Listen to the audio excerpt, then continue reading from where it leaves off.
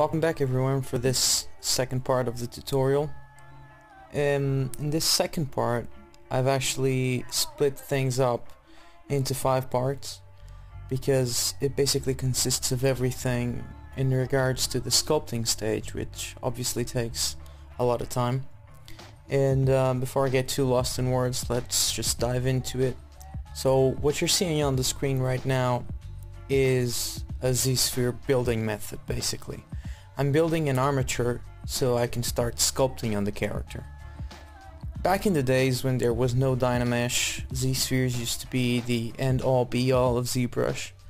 And obviously, as we progress, things change, but I still find Z-spheres very resourceful. Not only because you get to see straight away, without wasting too much time, the, um, the basic proportions of your character but you also get if you follow the instructions that I'm that I'm giving you you'll also be able to get a very nice base mesh with even some nice topology um, to start off with. Uh, instead of using the the regular adaptive skin I go for the classic skin which you can find under the um, under the adaptive skin menu uh, you'll see me going over it in a couple of, uh, of minutes here. So it basically gives you a really rough, really rough mesh, a really rough initial mesh I'd say, that you can then even further manipulate if you want to, let's say, have uh, straight away low poly mesh to adjust the initial forms and shapes of your character. Now there isn't um, much to say still at this first part. As you can see, I'm basically just building the, the basic proportions or features and placing them uh, in the character using the, the Z-spheres. One thing I can advise you though is to use the draw size uh, to a minimum, which is the value of 1 because sometimes um, it gets in the way, the dynamic size or the size of the of the brush gets in the way I don't always remember that, but you know, do as I say, don't do as I do. it's a saying we have.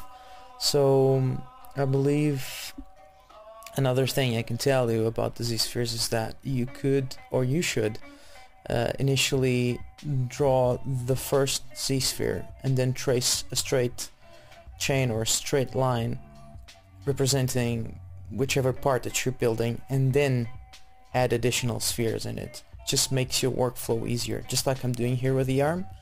So I've traced one directly from the shoulder to the elbow. And now I'm going to do the same for the other one. Just so you can stay consistent with the size. Also, if you press shift while clicking on the Z-sphere, you'll be able to create a Z-sphere with the same size and remember to block out the, the major shapes first and then dive in to get the rest of the details like the fingers and, and um, other smaller elements that you might have.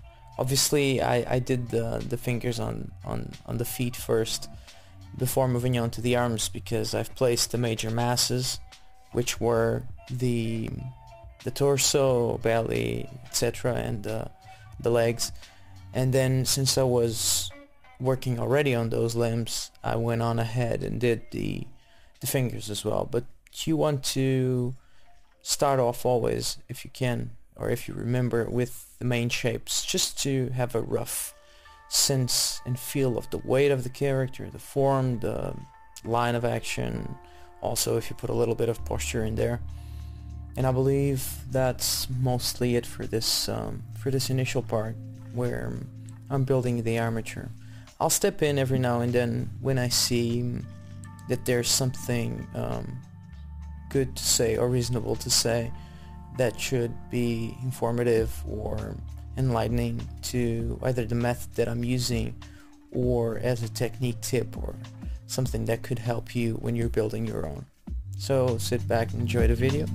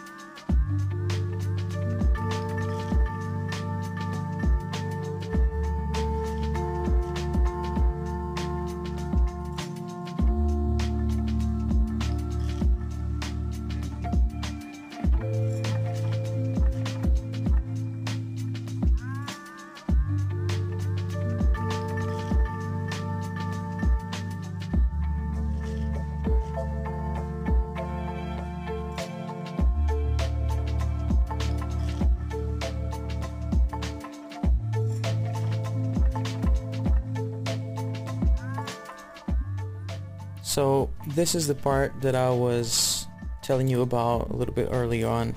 Instead of using just the regular adaptive skin method, I actually went on to the classical um, skinning method, which as you can see is a lot more rough, but is also a little bit more manageable in terms of using things like the move topological brush, which like you see on the screen allows you to pull individual polygons as they're really low right now and allow a better manipulation of the forms. Now these are just methods and techniques so pick up one that you enjoy and uh, work with it because what matters at the end of the day is the the end result so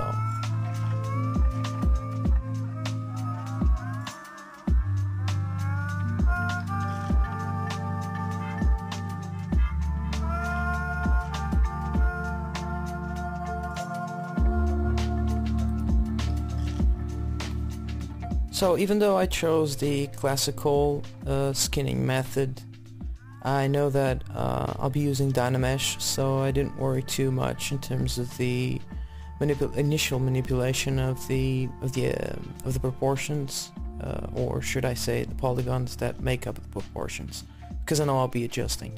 I'm still using that classical skin here to get my initial shapes and uh, the things I want to work out into place. But since I'm going to use Dynamesh, uh, that wouldn't make much sense to me to be further refining all those shapes with the move topological brush. I just wanted to give you some options and show you a couple of different things that you might not know or be aware of. Now, this stage for me is also a lot about subtlety, meaning the mesh is still very low poly and even when I go into Dynamesh I won't go above something like 64 or 88 I think the maximum that I might go is the the 128 resolution and that might be a bit too much. So uh, the thing for me at this stage is subtlety meaning I'll be sketching in the major masses the bony landmarks, things like the clavicles, things like the kneecaps, the elbows, and give shape and form to the muscle groups and all that by either using the inflate brush or going over with the clay, clay build up, them standard, smoothing it all out.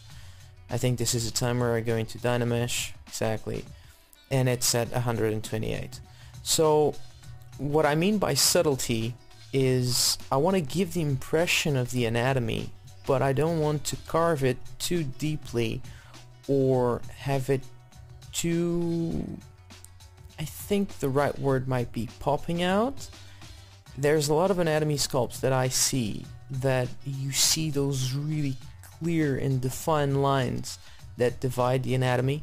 I don't fancy that. I kind of like the subtlety of you looking at it almost like squinting your eyes and seeing, ah, okay, I see the tricep there, the bicep, the deltoids, the shoulders, the, you know, but it isn't very clear or very defined. It's just sitting there as it would on a normal picture that you would see in real life. So that's something that I always try to incorporate into my working method. So the basic thing would be going over with either move or move topological brush to get things into place, the major shapes, then going over them with the clay or clay buildup, using them standard to carve in the lines or the joints or whichever connects one muscle to another or its cavity and then smoothing it all out.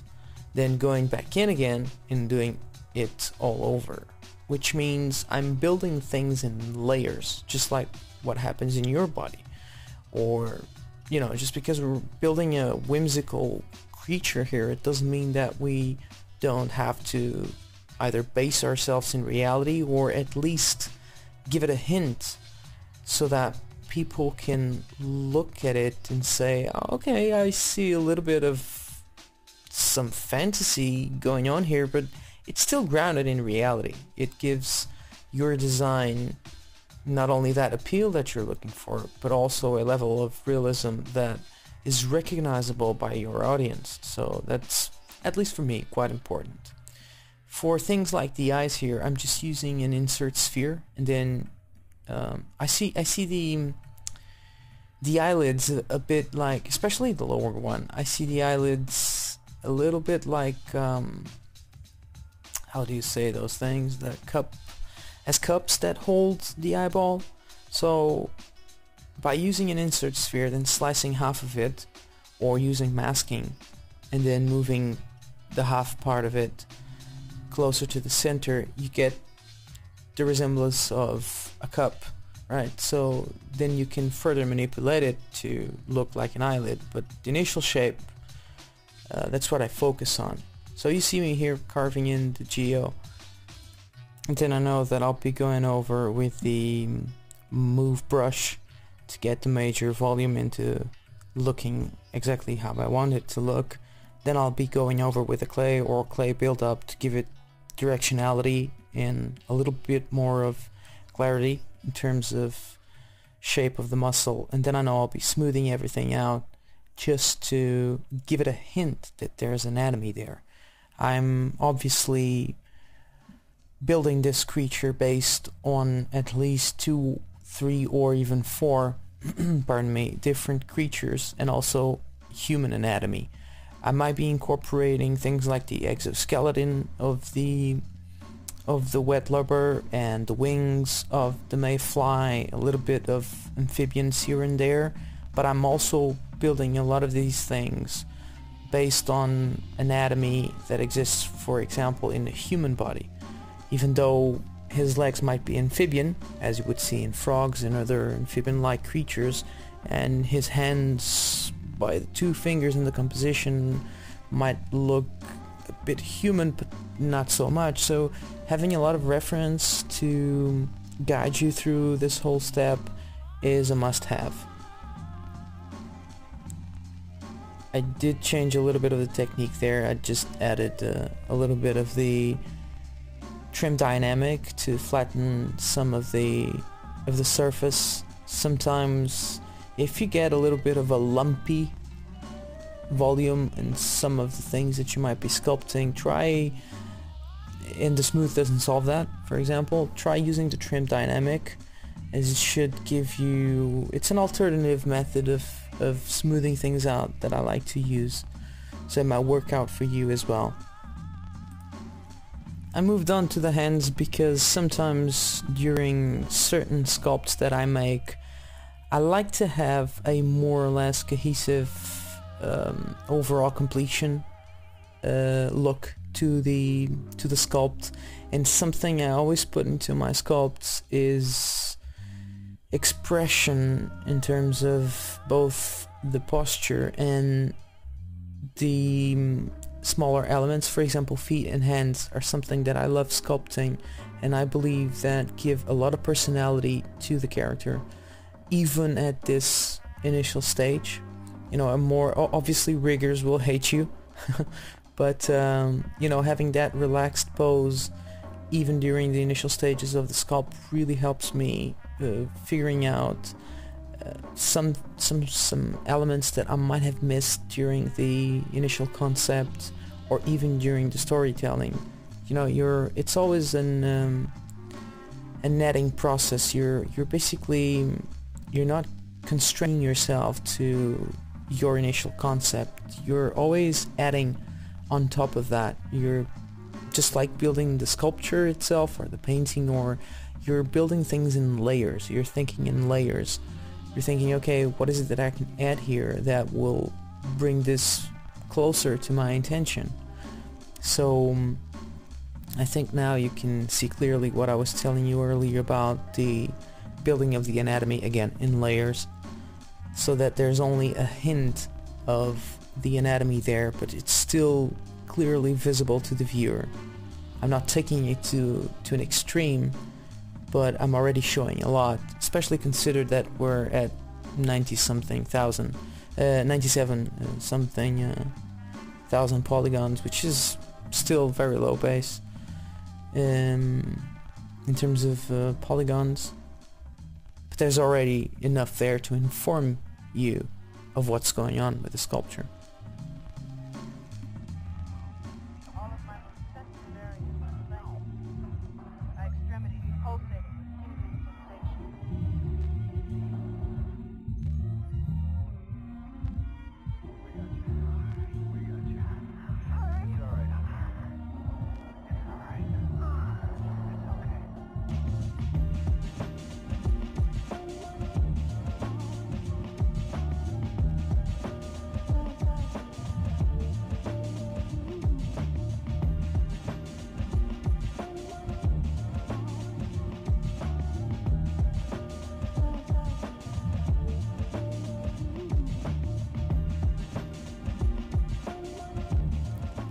There's also another thing that, as you can see, is quite helpful, which is to hide the elements. Since we built everything in with polygroups, the Dynamesh actually retained those polygroups. So by shift, control, and then clicking on the part that has that polygroup, you'll be able to hide it. That can be quite helpful when you want to build things that by having the limb there or something there will obstruct your view and not let you sculpt in between. The chest of the creature, the, the whole torso area, uh, even though it will not be visible in the final image, was quite demanding in terms of solving. It reminds me a bit of that Mortal Kombat character, which I can't remember the name, which has not just him, but overall characters that have four arms are uh, take a little bit of time to figuring out the whole anatomy because obviously the rib cage and the back muscles and the abdominal area is something that needs a little bit of thought process in, all, in order to, to solve. So I basically reduced a little bit of the rib cage in order to give room for the for the arms to exist there. And as you can see again same method over and over again. I could have called it a day but obviously by building things in layers and taking that little bit of extra time you get a lot of the anatomy and the initial stage of the sculpt through so that you can later on not worry so much um, in terms of it of its completion by just giving a hint, but you know, taking that a little extra time to build things in layers, you're already saving yourself a lot of time further down the road.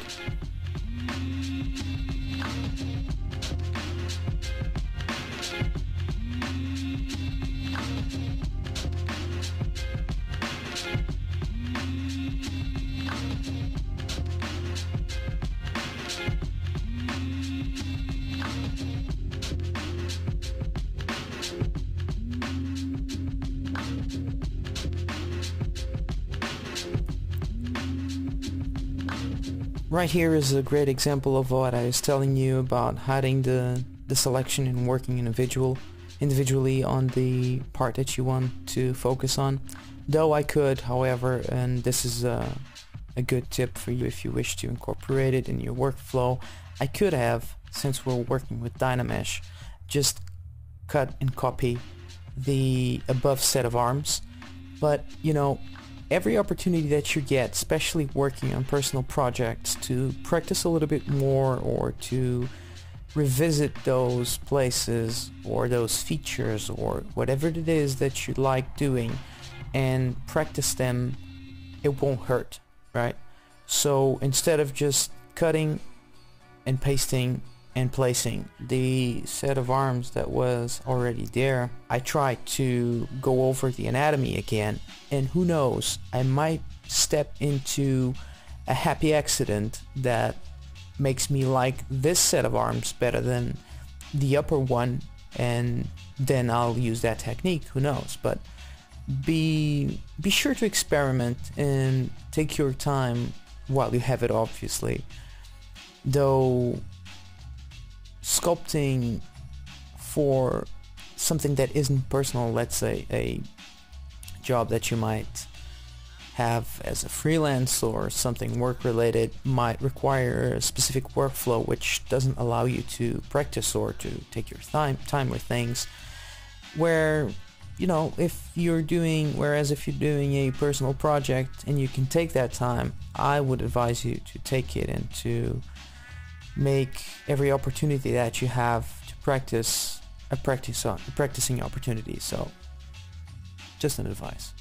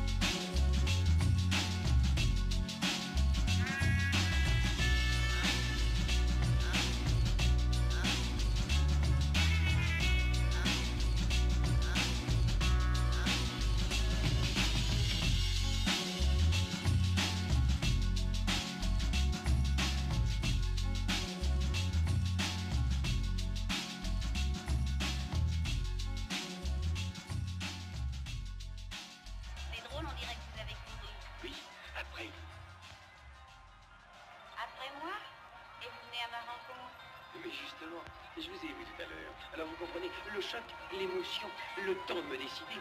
Et vous étiez déjà loin. Alors? Alors? Alors, comme j'ai horreur de suivre j'ai couru pour vous dépasser. Et précisément venir à votre rencontre. Et maintenant, je ne vous quitte plus. Dites-moi au moins quand je vous reverrai. Bientôt, peut-être. Sait-on jamais avec le hasard. Oh, Paris est grand, mon cher. Paris est tout petit pour ceux qui s'aiment comme nous d'un aussi grand amour.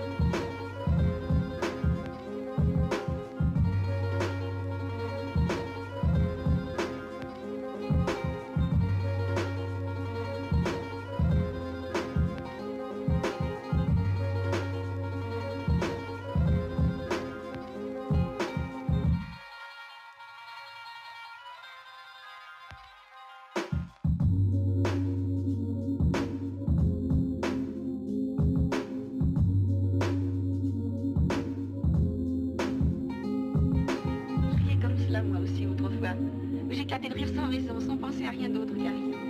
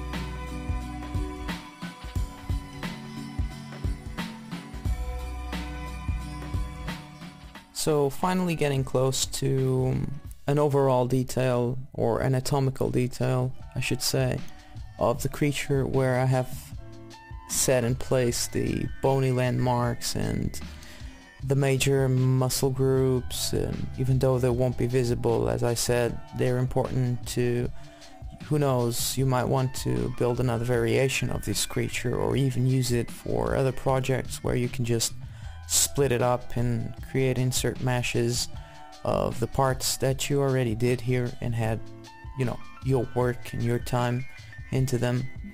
Um, I like to then move on to building the accessories or at least blocking in things that relate to the concept. And that's why I've I've put the concept up there to the left to to keep myself honest you know to okay now it's time to start blocking in the exoskeleton and to start blocking in maybe some of the other accessories that complement him and bring the storytelling into the play here.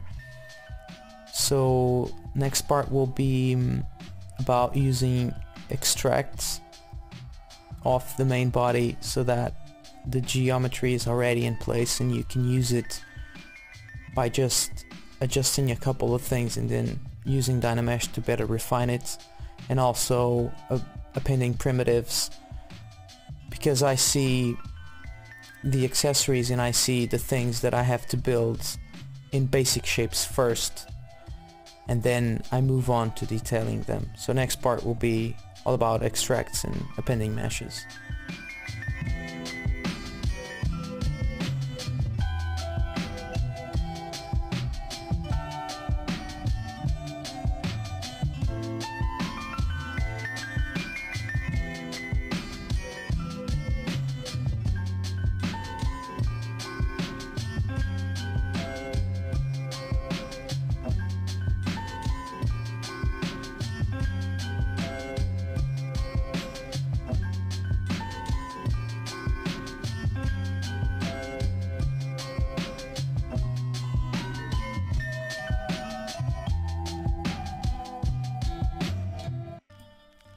Moving on to the accessories, his aviator hat or helmet, as you might want to call it, is one of the iconic parts of him. As you see, I'm just masking in the part of the head that I want to extract and then by going to the extract menu I can extract that part. Normally I try not to give it too much thickness as I'm going to move into Dynamesh and also because I can adjust it by tracing the move line and then using the overall inflate. If you don't know, it's quite useful. By tracing the line, then pressing Alt and right um, mouse button and moving that line, you can build volume. It's like an overall inflate to the mesh, which can be quite useful. And now I'm just using Dynamesh to start, since it's already in place, to start blocking in or at least refining a little bit of the shapes that I want to. And this is basically the main method that I'll be using to create all the accessories except maybe for some that I might find useful or easier to kind of just append a primitive object as in a cube, a sphere or a cylinder and start along with Dynamesh building the shape of the object. So if you look closely everything around you is built or made of simple geometry. I mean simple basic shapes. The triangle, the cube, the cylinder, even the most complex shape can be broken down into a more simple one. So have that in mind every time that you're thinking of building something, either in Dynamesh or Maya or whichever application you might use. Think small, you know, think, I mean, think big to small. Think um, basic first and detail after. After all, a big problem is nothing but the sum of smaller problems. So if you start solving those smaller problems first, you'll end up solving your big problem. So that's at least how I try to think.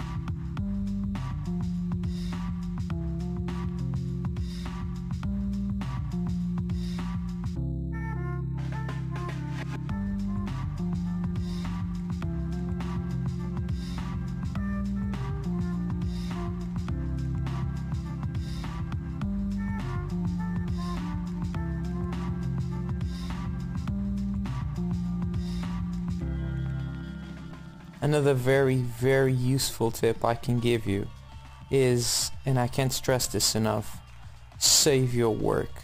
I just simply lost count on how many times throughout this project ZBrush has crashed or stopped working and I had to redo a couple of things. Now the autosave feature is sometimes a lifesaver and sometimes a living hell and I'll tell you why.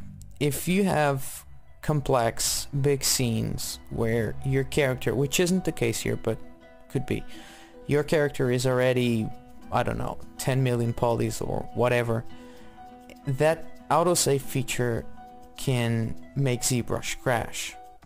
Uh, now, I do believe it will be solved when the 64-bit version comes to the market, but until then, you know, if you're not using the autosave feature because you might fear it, that it will crush ZBrush, do at least save your project often.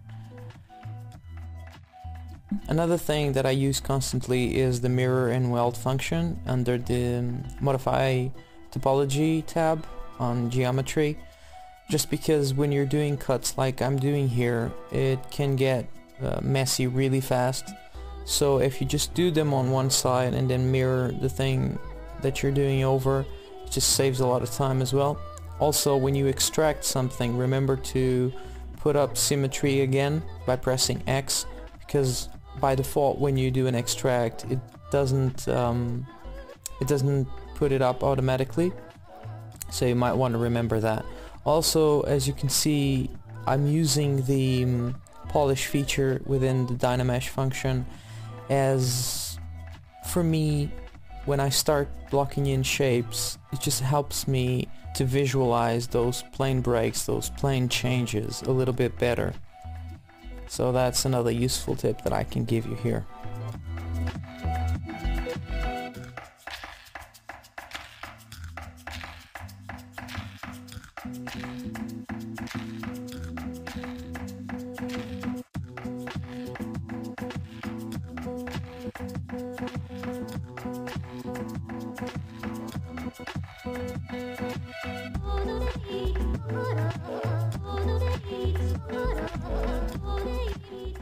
Having lost the work that I did to the helmet before, to the head, the aviator head, actually made me follow a different workflow here. Like you saw, I just extracted the mesh yet again, like I did the first time, but now I'm appending the cylinders, because those goggles that he has in his head are basically just two cylinders, one on top of the other, one bigger than the other, and those patches on the side are just cubes.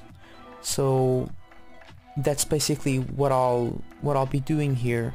And I believe throughout most of the rest of the accessories which is appending a primitive or by using the insert mesh brush primitive also and then working on with that. Also when you insert your first your first um, mesh onto a Dynamesh um, model or object, if you then by using the move line, the transpose move line, if you press control and drag it, it will create a copy of that same mesh that you just inserted. So that could be useful, like you saw me doing there, to create the inner or outer structure of something that you might be building. In my case, the goggles. I had that outer ring before the, the glassy part. So that's what I did. I just duplicated that initial insert mesh and then rescaled it to fit my intention.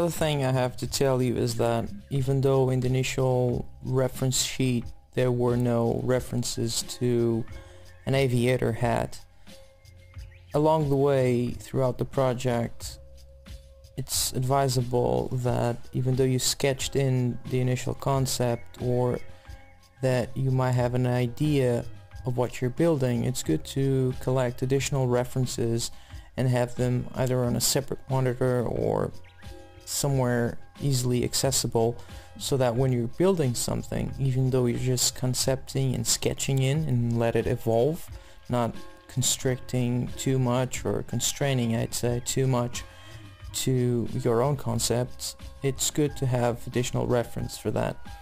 I just used the insert strap brush to have that connection in the goggles there and also I appended a cube for that side strap of the um, side wing I don't know the the exact name of of the hat and now I'm just adjusting the eyelids to better fit the shape of the eye sockets there and involve the um, the eye itself.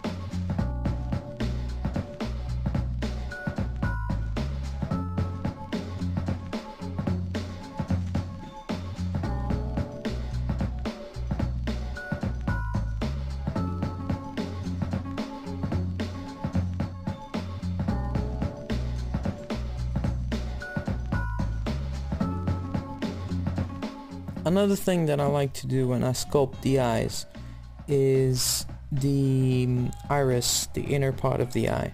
For that, I, I use a really simple technique.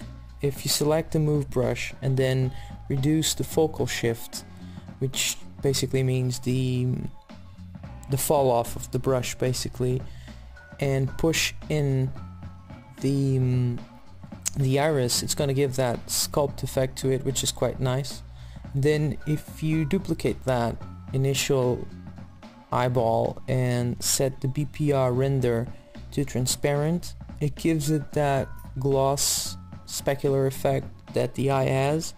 So it's a quite a nice effect to have while you're sculpting, um, even though in, in this initial stage, which is if you have the, you know, if you have the mesh, the overall detail and completion of the mesh to the same level, I believe that it just becomes a bit more appealing for you to work on it as well. Because if you focus too much on one area and you'll see me do that the opposite actually throughout the entire sculpt which is you know I don't focus too much on one area. I actually move around the sculpt as much as I can not only to stay motivated with it but also to see the overall progression take the same level of of, um, of complete of completeness let's put it that way it's just more just more motivating to work this way.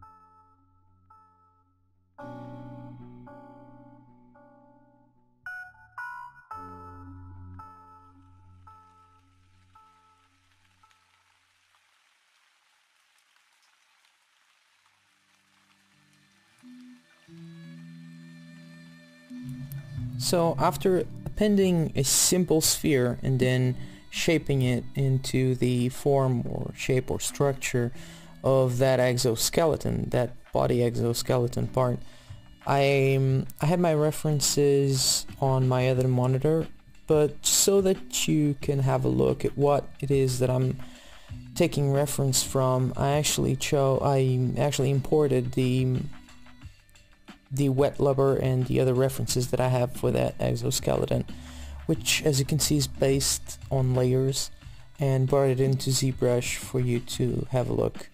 Now I just wanted a little bit of surface detail because I wanted to see how it works or worked with the character. So I just loaded in a freckled alpha and I think it's alpha 28 and scattered a little bit of detail over the surface to have it that crustaceous kind of kind of look. And then I've also used a really nice feature for the move brush which is the Yaku curve which allows you to basically pull out these really really um, nice thorns out of any surface. So that's another thing that I did for the overall look of that initial shell. And I'm also extracting what is uh, considered in the wet lubber to be a moving part that allows the wings to spread. So I believe I'll be moving on to the rest of the exoskeleton next, which is the, um, the arm structures as well as blocking in the wings, just so that we can have an overall feel of how the character will look in this initial stage.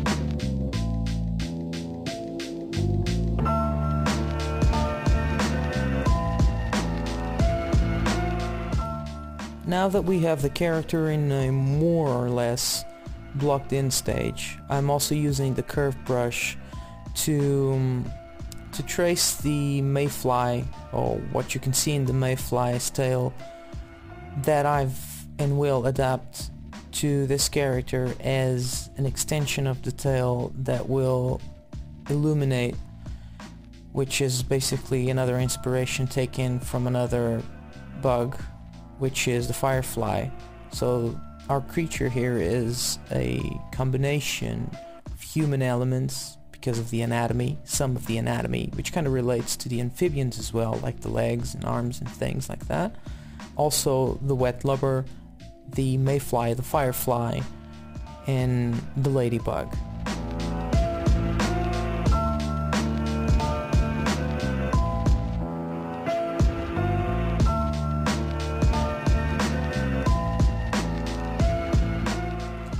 I felt that the legs were um, a little bit too small so I'm just adjusting before moving on to the accessories some overall anatomy and also a little bit of uh, fine-tuning to um, to the exoskeleton itself as I noticed that there were some flaws with some of its parts.